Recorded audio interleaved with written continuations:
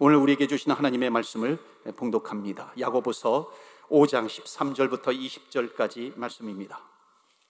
신약 성경 376페이지 야고보서 5장 13절부터 마지막 20절까지 말씀입니다. 찾으셨으면 13절부터 20절까지 말씀을 제가 봉독합니다. 너희 중에 고난 당하는 자가 있느냐? 그는 기도할 것이요. 즐거워하는 자가 있느냐? 그는 찬송할지니라. 너희 중에 병든 자가 있느냐? 그는 교회의 장로를 장로들을 청할 것이요. 그들은 주의 이름으로 기름을 바르며 그를 위하여 기도할지니라. 믿음의 기도는 병든 자를 구원하리니 주께서 그를 일으키시리라. 혹시 죄를 범하였을지라도 사하심을 받으리라. 그러므로 너희 죄를 서로 고백하며 병이 낫기를 위하여 서로 기도하라. 의인의 간구는 역사하는 힘이 큼이니라. 엘리야는 우리와 성정이 같은 사람이로되 그가 비가 오지 않기를 간절히 기도한즉 3년 6개월 동안 땅에 비가 오지 아니하고 다시 기도하니 하늘이 비를 주고 땅이 열매를 맺었느니라. 내 형제들아 너희 중에 미혹되어 진리를 떠난 자를 누가 돌아서게 하면 너희가 알 것은 죄인을 미혹된 길에서 돌아서게 하는 자가 그의 영혼을 사망해서 구원할 것이며 허다한 죄를 덮을 것임이라. 아멘. 우리 20절 말씀 다시 한번 우리 봉독하겠습니다. 20절 말씀만 다 같이 합독합니다. 시작. 너희가 알 것은 죄인을 미혹된 길에서 돌아서게 하는 자가 그의 영혼을 사망해서 구원할 것이며 허다한 죄를 덮을 것임이라. 아멘. 하나님의 말씀입니다. 오늘도 하나님의 말씀으로 은혜 받으시고 새 힘을 얻으시고 승리하시기를 주의 이름으로 축원합니다. 아멘. 자, 오늘 야고보서 마지막입니다.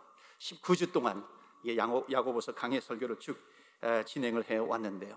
이 야고보서 5장 마지막 장은 지난주에도 말씀을 드렸고 오늘 또 야고보서 5장 말씀을 가지고 어, 전합니다. 제가 2주 전에 말씀을 드렸죠. 우리가 2주 동안 야고보서 말씀을 같이 전하자. 우리 교회 창립 기념 주의를 통해서 우리가 병든 자를 위해서 기도하는 시간을 갖겠다고 제가 말씀을 드렸습니다. 여러분 마음의 준비를 하고 오셨나요? 오늘 주님 앞에 기도로 올려드리는 이 시간이 되기를 바랍니다. 여러분 야고보서의 전체 주제는 야고보서의 전체 주제는 행함이 없는 믿음은 죽은 믿음이다. 우리가 이것을 잘 알고 있습니다. 행함이 있어야 되는데 행함이 없는 믿음은 죽은 믿음이야. 그래서 야고보서 1장 보면 정말 계속해서 흐르고 있는 것이 있습니다. 그것은 뭐냐면 너희들의 믿음이 죽은 믿음이냐 살아있는 믿음이냐 그러면서 뭐라고 말씀하냐면 시험을 당하거든 온전히 기쁘게 여기라 인내를 이루라 부를 부자인 것을 자랑하지 말라 욕심에 끌려다니지 말라 성내지 말라 듣기는 속히 하고 말하기는 더디하라 혀에 재갈을 물리라 그러니까 말에 실수가 없도록 해라 하는 겁니다 한 입에서 찬송과 저주가 아, 나오는 것이 마땅하지 않다 세상과 벗되지 말라 서로 비방하지 말라. 서로 원망하지 말라. 이런 어, 믿음이 행함이 없는 믿음은 죽은 믿음이다. 이런 내용들을 계속해서 야고보서에 주고 있습니다. 그래서 믿음이 없는 행함이 없는 믿음은 죽은 믿음이야. 우리는 너무나도 잘 알고 있습니다. 그런데 문제는 뭐냐면 행함이 없는 믿음은 죽은 믿음인데 내가 노력을 해도 행함이 따라주지 않는다는 것입니다. 알아요. 행함이 없는 믿음은 죽은 믿음이야. 그런데 안 되는 걸 어떻게 하느냐 이거예요. 그런데 야고보서는요. 만약 행함이 없는 믿음은 죽음 믿음이야. 이것만 주고 있다면 이것이 안 되는 사람들은 좌절하게 됩니다. 절망하게 되는 것이죠. 그럼 포기하죠. 아, 나는 안 되는구나. 안 되는구나. 기업 포기해 버립니다. 그런데 놀랍게도 야고보서는 행함이 없는 믿음은 죽은 믿음이다. 이것이 핵심 주제로서 쫙 흘러가고 있지만 또 하나의 주제가 있다는 것입니다. 그것이 바로 5장에 나오는 거예요. 그것은 뭐냐면 기도하라라고 하는 겁니다. 왜 야고보서가 행함이 없는 믿음은 죽은 믿음이라 그러는데 마지막 5장에는 기도하라 이렇게 끝나게 될까요? 그것은 행함이 없는 믿음은 죽은 믿음인 것은 알지만 그것을 넘어서서 이 야고보서를 통해서 주시는 또 하나의 너무나도 귀한 메시지가 있다. 그것은 기도이다. 그러므로 말미암아 우리가 기도함으로 말미암아 행함이 있는 믿음이 될 수 있다는 것을 말씀하고 있습니다. 그래서 행함이 없는 믿음에서 행함이 있는 믿음으로 전환되는 방법 그것은 무엇인가? 기도하라예요. 그래서 야고보서 5장은 기도하라로 끝이 납니다.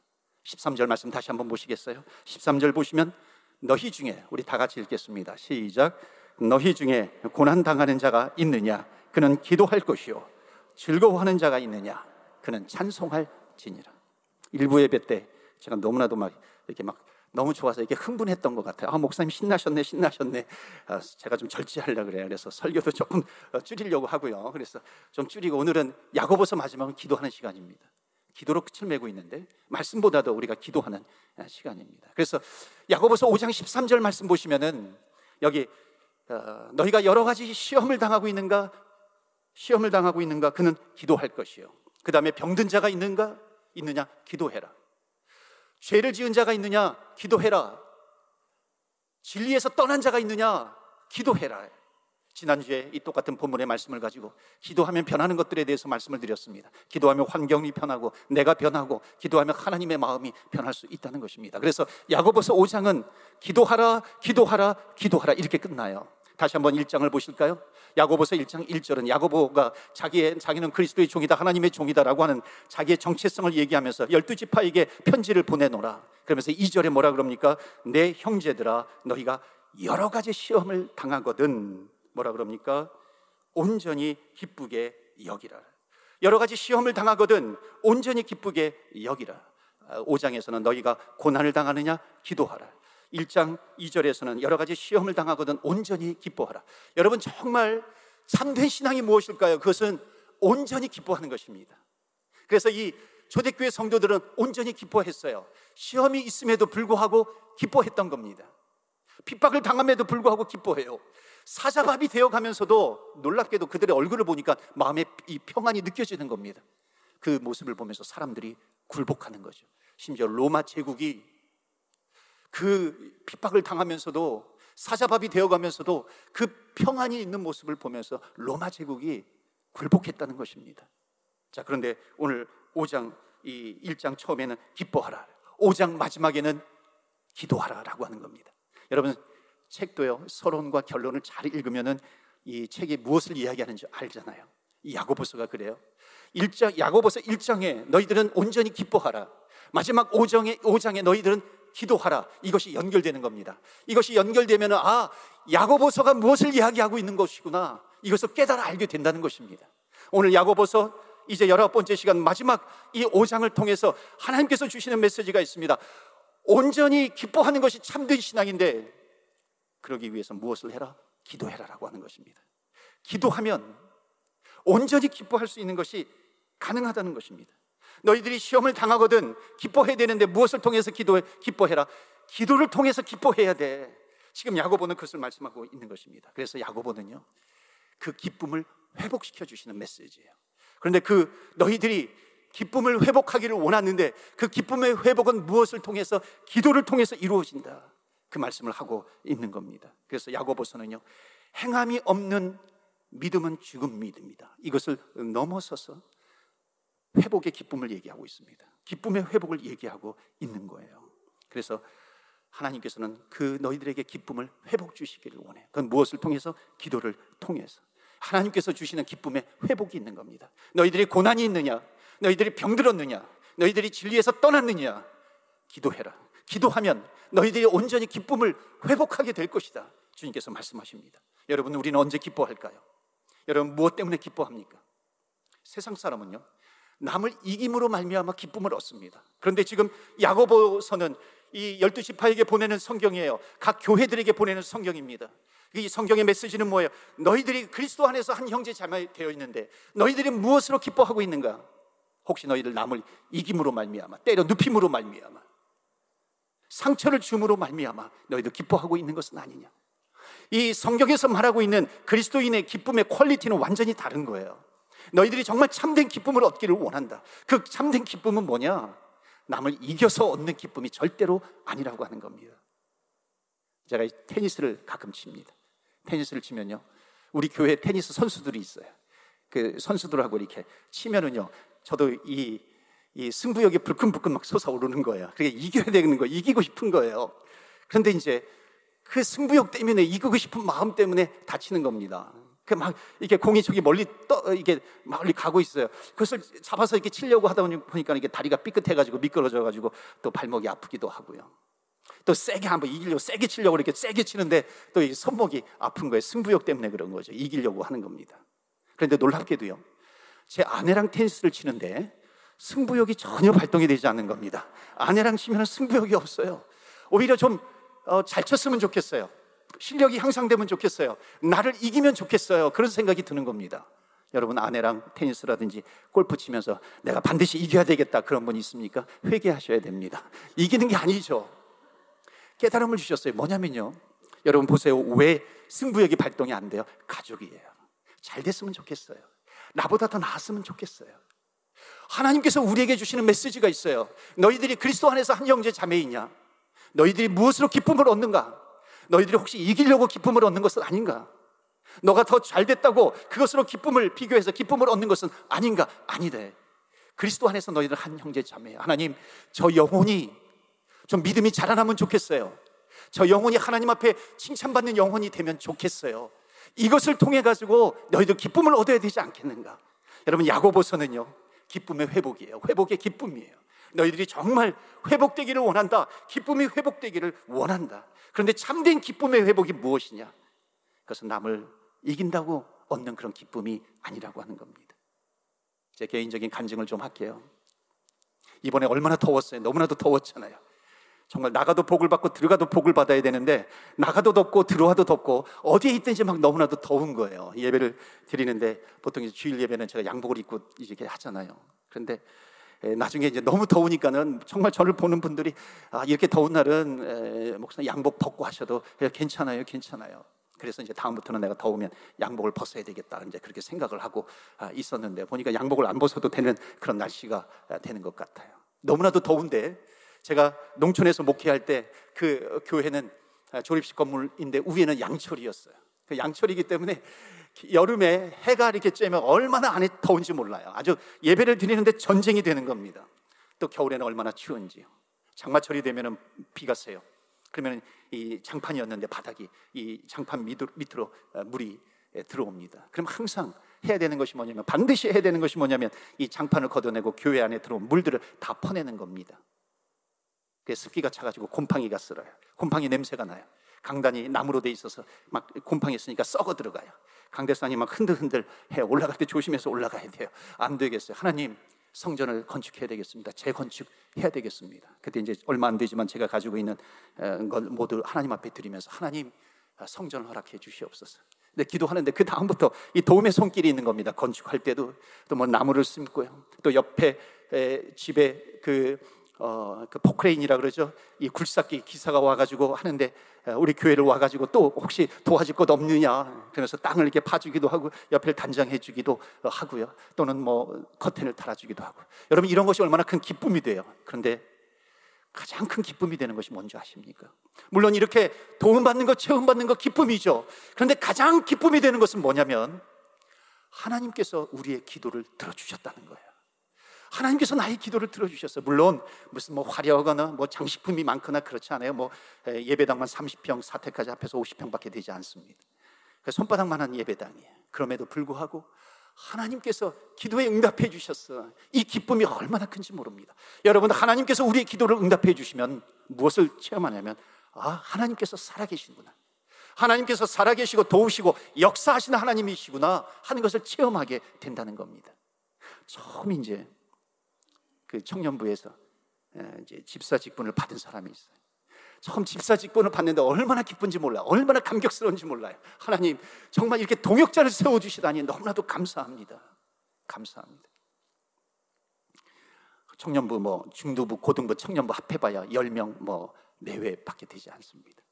근데 정말 이 기둥 같은 청년 한 명이 와가지고 뭐라 그러냐면, 목사님, 목사님처럼 목사가 돼야 되겠습니다. 목회자가 돼야 되겠습니다. 신학을 공부해야 되겠습니다. 그러면서 대전으로 갔어요. 섭섭하지만요. 한편으로는 정말 너희들이 기도한 것 아니냐. 일꾼을 세워달라고 기도한 것 아니냐. 그래서 정말 기도하면서 파송의 노래를 부르면서 파송할 때에 그 감격은요 이루 말할 수가 없습니다. 그 기쁨은 너무나도 큰 것이죠. 제가 농촌교회를 이게 가 끔 얘기하는 건 하나의 목회 훈련을 받은 곳입니다. 교만하지 말라고. 한 번은 정진이라고 하는 청년이 있었어요. 정진이라고 하는 청년. 그 아버지한테가 얼마나 거의 매일 두들겨 맞아가지고 그러니까 정상적으로 자라지 못하는 그런 청년이었습니다. 그러니까 이제 스트레스를 너무 많이 받으니까 어, 교회 와가지고 이제 스트레스를 푸는 거야. 아이들 괴롭히기도 하고 때리기도 하고 차에다가 이렇게 손을 이렇게 그 못으로 이렇게 찍찍 긋기도 하고 여러 가지 그런 일들을 어, 하는 겁니다. 그러면서 그 한 영혼이 그 교회 와가지고 돌을 던지기도 하고 돌을 던지기도 하고 또 막 이렇게 이렇게 장난감 총 가져가서 총을 쏘기도 하고 그런 일들이 있는 겁니다. 그런데 그 영혼이 주님 앞에 굴복하면서 나올 때에 그 기쁨, 정말 천국을 얻은 것 같아요. 세상을 얻은 것 같은 그런 기쁨이 가득 몰려오는 겁니다. 이 술을 먹은 사람이요. 술을 먹은 사람이 이렇게 예배 시간에 술 취해가지고 비틀비틀거리면서 뚜벅뚜벅 걸어와요. 그 한 영혼이 예배 드리러 오는데 얼마나 기쁨이 크던지요. 여러분, 왜 기쁜 건가요? 무엇 때문에 기쁜 건가요? 그것은 하나님께서 우리 기도에 응답해 주셨기 때문에 기쁨을 얻게 된다는 것입니다. 여러분, 진정한 기쁨이 무엇일까요? 시골 이 농촌 목회할 때 한 영혼이 전도할 때의 그 기쁨, 한 영혼이 전도될 때의 그 그것이 얼마나 그 기쁜 일인가 그것을 뼈저리게 배웠습니다. 그런데 교회가 점점 커져요. 큰 목회를 하면서 정말 그 한 영혼 때문에 기뻐하는 그 기쁨이 계속해서 유지되고 있는 거예요. 여러분 교회가 커지면 커질수록 하나님이 계시지 않아도 기쁨을 얻을 수가 있어요. 그런데 문제는 이것이 위기라고 하는 것입니다. 그런데 10명이 모이면 모이는 교회는 하나님이 계셔야만 기뻐할 수 있다는 것입니다. 여러분 야고보서는 왜 기도로 마무리하고 있을 것 있을까요? 그러니까 기도할 때 비로소 하나님께서 우리와 함께 하신다라고 하는 것을 체험할 수 있기 때문입니다. 여러분 교회의 기쁨이 뭐예요? 하나님께서 함께 해주시는 그런 기쁨입니다. 제가 카나다 이민 목회 시작하고 한 3년 정도 지났을 때, 한 아, 그때 이제 30대 아주 팔팔했을 때죠. 그때 몬트리올에서 그 연구원으로 제작하던 재직하던 그, 그 내외가 있었습니다. 엘리트 중에 엘리트 연구한 내용을 그때 콜롬비아 아, 우주 왕복선에 그 내용물을 싣고서 어, 발사가 되어가지고 거기서 이제 연구 결과를 가져야 되는데 아, 대기권에 들어오면서 폭파가 됐어요. 얼마나 그 연구하던 것이 다 날아가 버린 겁니다. 상심이 컸죠. 엎친 데 덮친 격으로 외아들 아들이 아, 병원에 입원을 했는데 바이러스가 침입해 들어온 겁니다. 바이러스가 침입해 들어와 가지고 갈비뼈 세 개를 절단해야 되는 그런 위기입니다. 그러니까 병문안 신방 가가지고 기도하는데 기도가 되지 않는 거예요. 뭐라고 위로할 수 없는 거예요. 하나님, 이게 꼭 내 죄 때문에 온 것 같기도 하고. 그래서 우리가 먼저 회개하면서 기도하자. 그리고 돌아와 가지고 교회에서 철회하면서 기도합니다. 철회하면서 기도하는데 새벽녘에 기도하는데 이런 기도가 되는 겁니다. 하나님, 제 갈비뼈를 가져가서라도 그 희원이 낫게 해주세요. 그런데 놀랍게도 새벽녘에 제 갈비뼈가 아파오는 겁니다. 제가 기뻐했을까요? 아니면 하나님 내 갈비뼈를 가, 져가시니까 이제 나는 힘이 없겠구나. 나는 이제 뭐 장애를 얻겠구나. 그것 때문에 슬퍼했을까요? 이 갈비뼈가 아파오는데 너무너무 기쁜 거예요. 확신을 주시는 거예요. 하나님, 하나님께서 정말 그 아이를 희원이를 낫게 해주시겠구나. 회복시켜 주시겠구나. 나중에 며칠 있다가 그 갈비뼈 스스로 하지, 절단하지 않아도 갈비뼈를 절단해야 된다 그랬거든. 갈비뼈를 바이러스가 들어와서 절단하면 거기에 나중에 자라면 자라서 이제 살로 메꿔져 가지고 힘이 하나도 없다는 것입니다. 그런데 놀랍게도 갈비뼈를 절단하지 않아도 된다는 그런 기적 같은 메시지를 들은 거예요. 이 목회를 하면서요. 잊지 못할 일인데 제가 야고보서 마지막 5장 준비하면서 엊그제 준비하는데 이 집사님이 정말 오래간만에 저에게 메시지를 주신 거예요. 그래서 그 글을 보낸 겁니다. 그러니까 한국 시간으로 말하면 토요일 오전이에요. 제가 다는 못 읽어드리고 앞에 부분만 조금 읽어드릴게요. 이런 글입니다. 보고 싶은 목사님 사모님께 토요일 아침에 군 복무 중인 희원이 사진을 보다가 희원이 갈비뼈 제거 수술 대신 건강하게 낫게 기도해 주셨던 목사님 생각이 났습니다. 목사님 설교가 그리워서 교회 홈페이지에 들어가서 지난 주일 설교를 들으니 목사님의 20여 년 전에 뜨거운 열정이 느껴지더군요. 희원이는 작년 5월 18일 입대해서 이제 7군단 안에서 어학병으로 이제 근무 중에 있다는 겁니다. 이렇게 보내왔어요. 저는 이 글을 읽으면서요. 하나님께서 마치 주시는 음성 같았어요. 너는 기억하고 있는 거야. 너는 그때를 기억하고 있느냐? 너가 그때 간절히 주님 앞에 한 영혼을 위해서 기도해, 기도하던 하나님 앞에서 기도하던 그때를 너희들 너는 기억하고 있는가? 지금 너가 기도하면서 그 간절함이 너에게 있느냐? 하나님께서 막 제 마음을 이렇게 치시는 것 같아요. 그 마음이 있는 거예요. 그 글을 통해서 주님께서 주시는 마음입니다. 물론 기뻐하는 일만 있었던 것은 아니죠. 목회를 하면서 때로는 힘들었던 적도 있습니다. 그때마다 하나님께서 겸손을 가르쳐 주시는 겁니다. 너의 마음을 이렇게 후비어 판다 할지라도 너의 하나님이 있지 않느냐. 넉넉한 믿음으로 넉넉하게 이길 수 있는 그런 마음 하나님께서 훈련해 주십니다. 야고보서가 말하는 게 뭘까요? 너희들은 어떤 기쁨을 추구하고 있는 거예요. 너희들에게 그 기쁨을 주고 있대. 주고 싶다. 혹시 너희들이 기뻐하는 것이 욕을 할 때 기뻐하는 것 아니냐? 남을 이길 때 오는 그 기쁨을 가지고 너희도 기뻐하는 것은 아니냐? 하나님께서 이 야고보서 5장을 이제 마치면서 하나님께서 말씀하시는 것 같아요. 너희들이 남을 이겨야 오는 기쁨은 그것은 세상 사람들이 추구하는 기쁨이야. 정말 하나님의 백성들이 기뻐해야 될 기쁨은 무엇인가?